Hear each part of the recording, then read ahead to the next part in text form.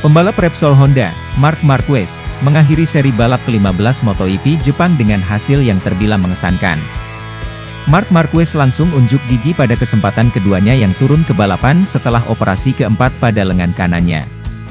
Mark Marquez hanya berjarak satu posisi dari podium pada balapan MotoGP Jepang di Mobility Resort Motegi, Jepang, Minggu, 25 September 2022. Marquez menjadi pembalap dengan motor pabrikan Jepang terdepan pada balapan pertama di negeri Sakura sejak 2019. Wajah Honda yang merupakan pengelola sirkuit Motegi terselamatkan karena sehari sebelumnya Marquez mencetak pole position.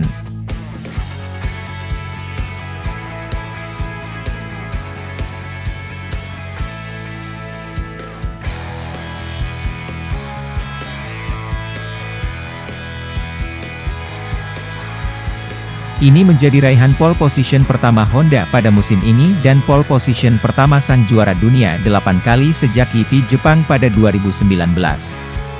Penampilan impresif Marquez mendapat sorotan dari mantan pembalap MotoGP, Carlos Ceca.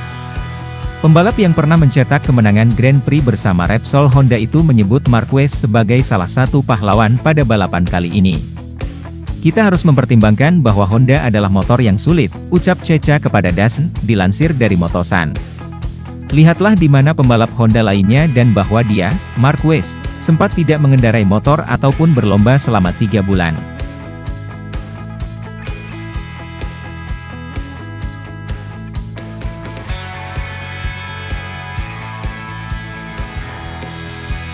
Pembalap Honda terdekat dari Marquez adalah Paul Espargaro, rekan setimnya sendiri, yang finish di posisi ke-12. Tentunya bagi pembalap dan tim yang terbiasa menjadi juara dunia, posisi keempat bukan hasil yang benar-benar bisa dibanggakan. Namun, bagi Ceca, hasil bagus ini setidaknya bisa menjadi momentum bagi Marquez dan Honda untuk keluar dari krisis. Hal terpenting adalah bahwa ia berada dalam kondisi yang baik, secara fisik dan mental, ujar Ceca lagi. Dia harus memberikan dorongan kepada Honda untuk meningkatkan motornya sehingga dia bisa berjuang untuk gelar juara dunia pada 2023.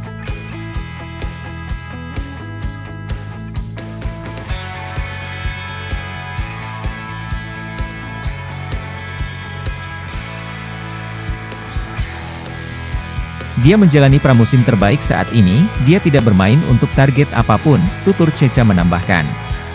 Tujuan utama si semut dari Cervera kembali di sisa 6 balapan lebih untuk mengembalikan feeling terbaik dengan motornya. Mengembalikan sensasi bagus menjadi krusial bagi Marquez, sosok yang dikenal terampil dalam mengeluarkan seluruh potensi dari kuda besinya. Ceca lantas menyoroti bagaimana Marquez terlihat tidak mengalami masalah setelah terjatuh saat sesi pemanasan. Marquez tahu mengapa dia terjatuh dalam warm-up, karena ia mencari batasannya. Sekarang ia harus terus menambah, terus berusaha, kata Ceca.